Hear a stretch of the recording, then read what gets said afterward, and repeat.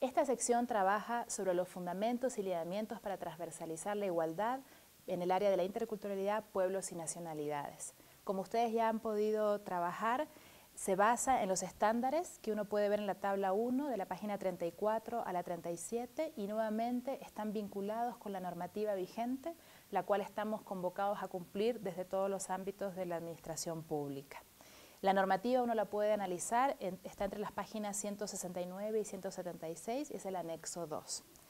Lo que voy a presentar a continuación son los lineamientos específicos. Estos lineamientos han surgido eh, en parte de la experiencia ya acumulada. Ecuador es un país que ha tenido un gran proceso eh, de movimientos étnicos, de reivindicación de los derechos y especialmente en el área de la educación intercultural, donde ha podido ser un ejemplo de cómo trabajar este tema. También se basa en sugerencias de todas las deudas y desafíos aún pendientes. Es muy interesante recordar, o interesante es la forma de decir, que eh, en este momento una mujer que nace blanca en Ecuador tiene la eh, posibilidad de tener nueve años de educación escolar, pero una mujer indígena solo alcanza en promedio el 4.8. Eso es una diferencia abismal en cuanto a las perspectivas que tienen, guardan relación a posibilidades de trabajo, educación, también cómo uno trabaja con sus propios hijos.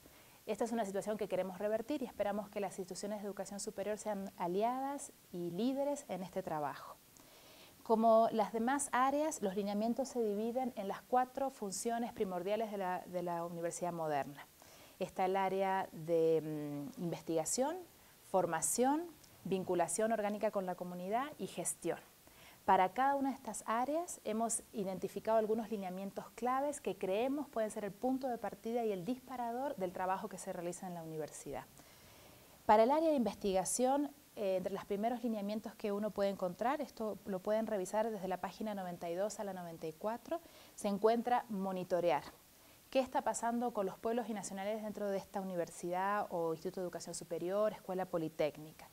Esto requiere definir metodológicamente, hacer un censo de autoidentificación étnica, pero eh, eh, visualizar no solo el ingreso, sino también el avance y egreso de esta población a nivel de estudiantes, académicos y administrativos. Requiere formular una agenda de investigación sobre estas temáticas y cómo están influyendo, eh, la vigilancia de veeduría, los centros de estudios que ya existen en algunas instituciones y un tema vital en este eje es el tema de las lenguas originarias, los saberes ancestrales y las lenguas originarias. Tenemos mucho para sistematizar y para aprender juntos.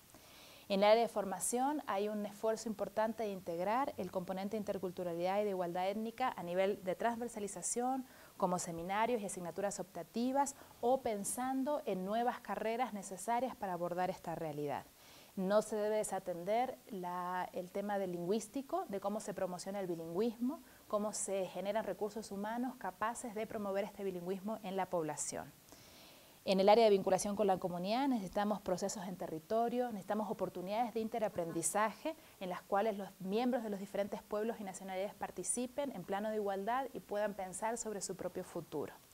Y finalmente, en el área de gestión, eh, se sugiere nuevamente la conformación de una comisión de alto nivel que pueda hacer seguimiento de las medidas que se decidan dentro de cada institución de educación superior, el acceso a becas de los estudiantes, la atención con tutorías especializadas y esto es algo que se repite para todas las poblaciones vulnerables. Uno puede tener vulnerabilidad por género, por eh, identificación étnica, pero también por ser el primero de una familia en entrar a la universidad. Esta situación requiere un acompañamiento, una tutoría especializada si queremos asegurar el éxito académico de estos estudiantes y su posterior incorporación al mercado laboral, aportando con nuevas perspectivas sobre estas temáticas y sus soluciones.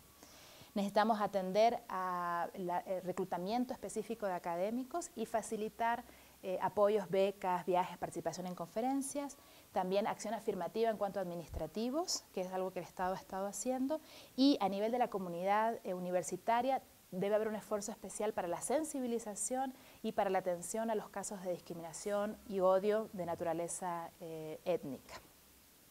Todas estas iniciativas, muchas de ellas no son nuevas para las universidades, tenemos experiencia acumulada. Quiero mencionar algunos ejemplos de buenas prácticas. Eh, el MISEAL, que es eh, em, un proyecto también bajo alfa liderado acá en Ecuador a través de Flaxo, está realizando un sistema de indicadores de cómo hacer seguimiento. Tenemos a la Universidad Andina con la cátedra UNESCO, también que está haciendo un trabajo de socialización y educación. Ellos dan, por ejemplo, para la Universidad Andina, eh, clases de quichua a sus estudiantes. Tenemos un trabajo histórico desde los años 90 de la Universidad Flaxo, de la Universidad de Cuenca, de la Universidad Salesiana, para atención específica de esta población, muy relacionado con formar docentes bilingües. Y nosotros eh, eh, dirigimos su atención a la experiencia de Brasil como estudio de caso y cómo ellos han llevado adelante un programa de diversidad en la universidad que ha tenido eh, relación con becas, pero también preparación para la vida universitaria y acompañamiento a través de toda la trayectoria. Esto lo pueden revisar en la página 99. Como ustedes pueden ver, tenemos muchas ideas y experiencia y tenemos mucho para hacer juntos.